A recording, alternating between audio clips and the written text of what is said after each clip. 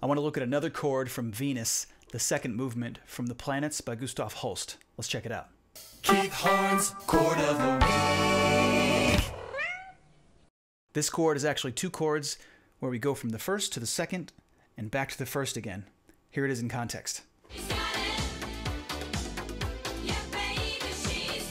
That's the wrong Venus, man. That that's the wrong. Here's the actual chord in context.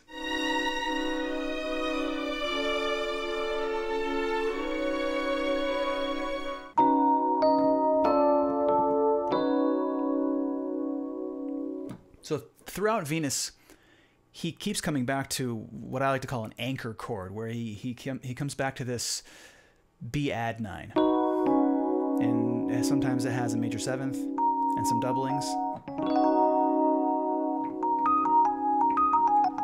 We hear some of that, but here we hear him go. That second chord is the one I want to focus on. It looks like a D minor over a C sharp or a D flat, but it also looks like a D flat augmented with a flat 9, a D. It, it kind of implies a D7 augmented flat 9. Uh, I'm sorry, D flat augmented flat 9. It kind of implies that, but it really is just, I see it as a D minor over C sharp. And then where he takes it with the voice leading right back where we started, without the without the seventh this time.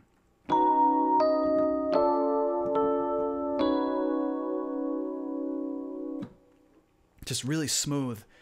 That voice leading is everything.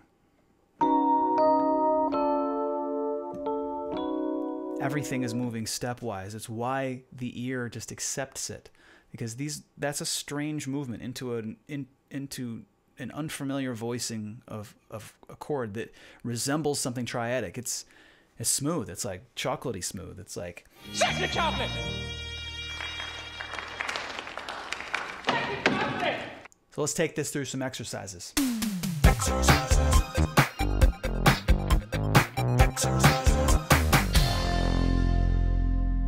The first exercise is to take the second chord, this D minor over C sharp, and run it through this exact voicing counterclockwise around the circle of fifths, like this.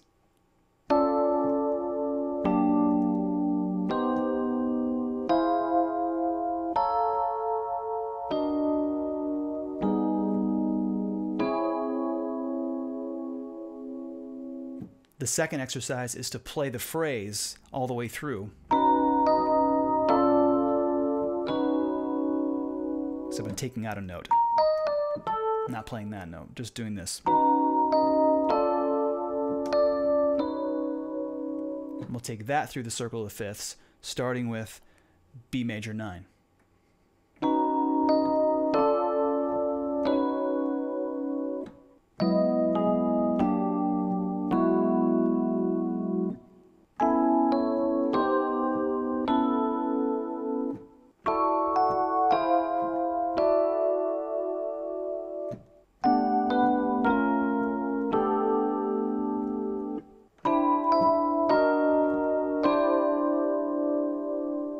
And the last exercise is to take this B add 9 and just to get used to that sound and that shape where we just take a triad and add a 2. Let's take that through the circle of fifths by itself with the left hand and add the major seventh of each chord in the right hand. So that's going to look like this.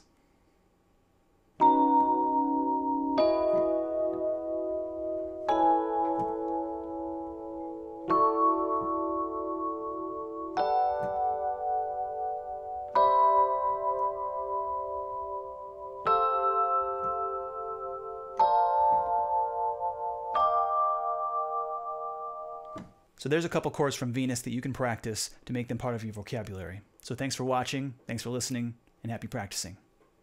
Yeah. Who this? This be yo, who this? Yo, who this? Who this?